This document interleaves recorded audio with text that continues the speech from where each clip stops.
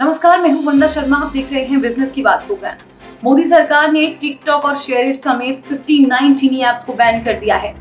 ऐसे में यूज़र्स के मन में ये सवाल आ रहा है कि जिन स्मार्टफ़ोन में पहले से ही एप्स इंस्टॉल हैं, क्या वो इसका इस्तेमाल कर पाएँगे या नहीं? ऐप स्टोर या प्ले स्टोर से ये ऐप्स डाउनलोड हो पाएँगी या नहीं? या फिर बैन हो चुके ऐप से यूज़र्स को कोई खतरा है या नहीं? अगर आप भी इन्हीं सवालों का जवाब ढूंढ रहे हैं तो इस वीडियो को आखिर तक ज़रूर देखिएगा। कैसे लागू होगा सरकार का आदेश? माइक्रोसॉफ्ट कंपनी के लोकलाइजेशन डायरेक्टर और टेक एक्सपर्ट बालेंदु शर्मा दादीज के मुताबिक सरकार गूगल प्ले स्टोर और एप्पल को अपने आईओएस प्लेटफॉर्म से इन एप्स को हटाने का निर्देश देगी। इसके बाद इंटरनेट सर्विस प्रोवाइड यानी आईएसपी इसको इन डाटा इन एप्स का डाटा एक्सेस ना करने देने और टेलीकॉम कंपनियों को इन्हें नेटवर्क ना मुहैया कराने का आदेश दिया जाएगा। उसके बाद ये एप्स काम करना पूरी तरह से बंद कर देंगे। कैसे बंद होगा एप्स का एक्सेस यूज़र्स को जो कंपनियाँ इंटरनेट नेटवर्क देती हैं, जैसे एयरटेल जियो बीएसएनएल आदि, ये दो तरीके से इंटरनेट नेटवर्क देती है। एक तो मोबाइल कनेक्शन के ज़रिए और दूसरा ब्रॉडबैंड नेटवर्क के ज़रिए। इन कंपनियों के नेटवर्क को यूज़र को काम देने का काम आईएसपी करते हैं।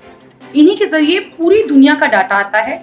यानी दुनिया के किसी भी देश से जो भी डाटा भारत आएगा, वो आईएसपी के ज़रिए ही आएगा।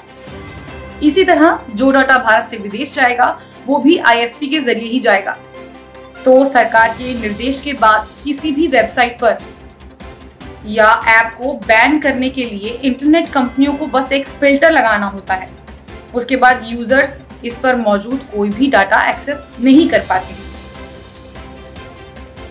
लोगों के पर्सनल डाटा का क्या होगा?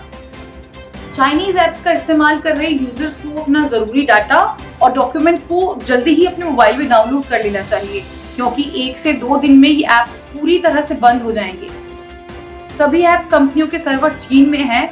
यदि तकनीकी तौर पर ये कंपनियाँ लोगों की डाटा डिलीट नहीं करती है तो उनका डाटा डिलीट नहीं होगा। लेकिन इसके बावजूद यूज़र्स अपने डाटा एक्सेस नहीं कर पाए यानी वे अपने वीडियो फ़ोटो फाइल्स आदि को आगे नहीं देख पाएँगे। क्या ऐप भी डिलीट हो जाएँगे? ऐप्स डिलीट नहीं होंगे, उन्हें आपको खुद डिलीट करना पड़ेगा। बस आप सर्वर तक नहीं पहुँच पाएँगे, यानी आप अपने फ़ाइल फ़ोटो और वीडियो वगैरह नहीं देख पाएँगे। क्या जिनके मोबाइल में पहले से ऐप है, वे इन्हें यूज़ कर पाएँगे? बिल्कुल नहीं। ये ऐप्स पूरी तरह से बैन हो गए हैं और कोई फ़र्क नहीं पड़ता कि आपने ये ऐप्स पहले डाउनलोड किए थे या अब डाउनलोड किया है। भारत में कोई भी नागरिक इन ऐप्स को इस्तेमाल नहीं कर सकेगा। चीनी ऐप्स किस तरह की प्राइवेसी को तोड़ रहे थे? चीनी ऐप्स असुरक्षित थे, क्योंकि आप जब भी कोई भी ऐप इंस्टॉल करते हैं तो आप ये मंजूरी दे चुके होते हैं कि वो आपकी फाइल्स फ़ोटो वीडियो ये सब एक्सेस कर सकते हैं।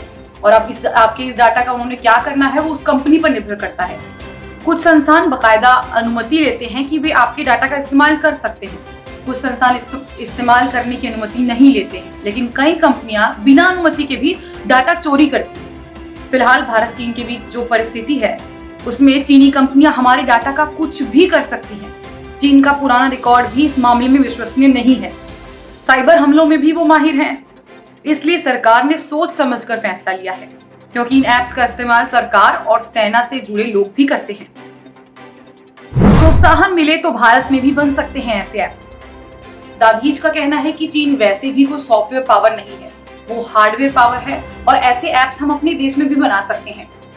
लेकिन सिर्फ़ थोड़े से आर्थिक प्रोत्साहन की ज़रूरत है। अभी हमें स्टार्टअप के लिए बहुत संघर्ष करना पड़ता है और हमारे कई सॉफ्टवेयर डेवलपर विदेशी कंपनियों के लिए काम कर रहे हैं। इसलिए भी नहीं बनाते क्योंकि भारत में पहले से ही मौजूद है विदेशी ऐप। इसके अलावा हमारे यहाँ बहुत बड़ी संख्या में विदेशी ऐप्स मौजूद हैं, जो कि काफ़ी पॉपुलर भी हैं। इसलिए देशी स्टार्टअप ऐसे ऐप नहीं बनाते हैं। जबकि चीन में अधिकतर विदेशी ऐप्स बैन हैं। इसके चलते वहाँ लोकल ऐप्स ज़्यादा बनती हैं। वहाँ सरकार प्रोत्साहन भी ज़्यादा देती है, लेकिन हमारे ऐप्स भी दुनिया में पॉपुलर हो सकते हैं। बस थोड़ा नयापन लाना होगा। हमारे देश के भी कई ऐप्स पॉपुलर हैं, जैसे पेटीएम शेयर चैट फ्लिपकार्ट आदि। तो दोस्तों, इसी तरह की बाकी अपडेट्स को जानने के लिए हमारे चैनल को लाइक और सब्सक्राइब ज़रूर कीजिएगा और साथ ही बेल आइकन को दबाना ना भूलिएगा, जिससे आपको हर अपडेट की नोटिफिकेशन मिलती रहे। तो बने रहिए हमारे साथ और देखते रहिए ओके क्रेडिट ओके क्रेडिट भरोसा व्यापार का।